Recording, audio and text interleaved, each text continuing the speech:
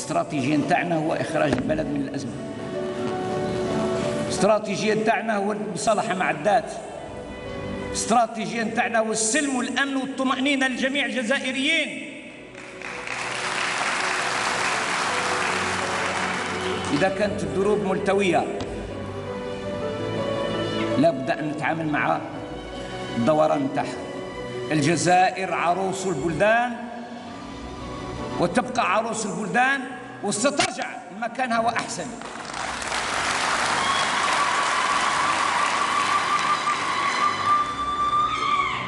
C'est cette Algérie qu'a voulu le président de la République pour redonner espoir aux Algériens.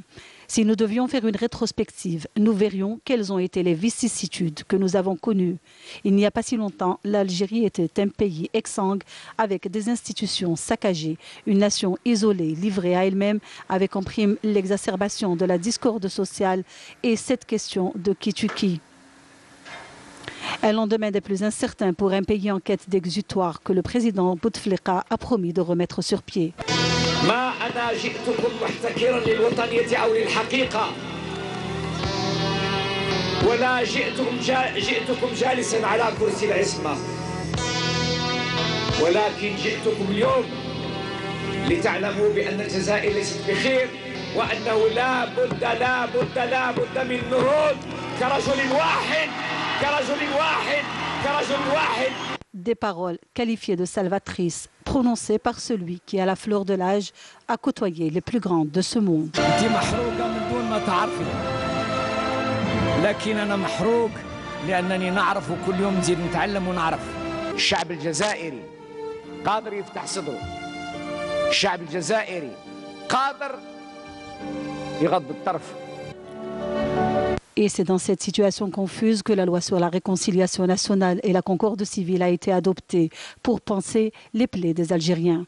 Mais l'Algérie n'a pas sitôt recouvré la paix et entamé sa phase de stabilité qu'elle a aussi dû faire face à une économie ruinée et à des dégâts se chiffrant en milliards de dollars. Mais le défi a été relevé. L'Algérie s'en est sortie à la faveur de la détermination et grâce à la vision sage du président de la République qui a parié de remporter le défi du développement et de réhabiliter la place de l'Algérie sur l'échiquier international. Le président de la République n'a eu de cesse d'expliquer sur la scène internationale que nous ne sommes pas seuls concernés par ce qui s'est passé en Algérie et que le terrorisme n'a ni religion ni frontières, permettant ainsi à l'Algérie de regagner sa place et exporter son expérience en matière de lutte contre le terrorisme après qu'elle ait été accusée d'être la source de la violence et des luttes intestines. Elle est aujourd'hui la référence des chercheurs en quête de solutions pacifiques au conflit, prônant le recours au dialogue et un partenaire stratégique dans une région menacée de toutes parts. En dépit de cette instabilité régionale, l'Algérie fait aujourd'hui l'exception grâce à la politique clairvoyante menée par le président qui protège le pays de toute menace et tentative, à l'instar du printemps arabe. Et au moment où de nombreux pays sont mis à feu et à sang, les Algériens, au cœur de la politique sociale du président, apprécient aujourd'hui ce retour à la paix tant espéré. Cela en dépit d'une crise financière bien gérée, encore une fois, à la faveur des mesures engagées par le président de la République, notamment via le remboursement de la dette extérieure et la création du fonds de régulation.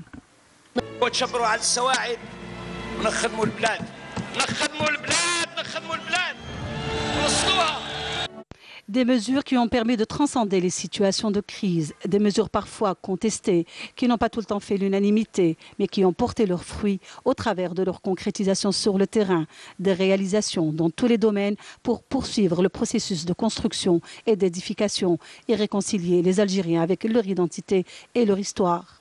قبل 99 شكون اللي اعترف بالامازيغيه كلغه وطنيه ما فيش حد ما فيش حد جرأ على هذا Parmi ces grands acquis, la célébration de Yeneyer pour la première fois cette année.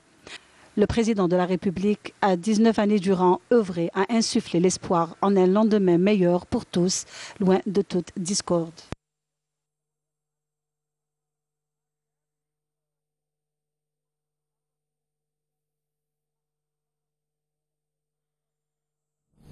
Et vous pourrez suivre ce soir sur les quatre chaînes de la télévision nationale, juste après le journal de 20h, une émission spéciale.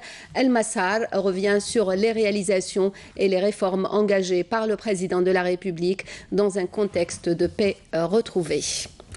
Le président de la République, Abdelaziz.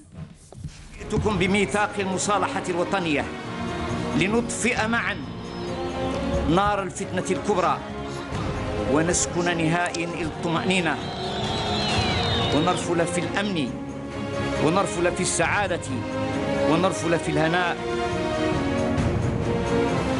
إننا سنبلغ ما نأمله من استقرار بفضل السلم بفضل المصالحة الوطنية ولقد عقدنا العزم على ديمومة هذا الاستقرار بتوفير الرقي بتوفير الرخاء لشعبنا.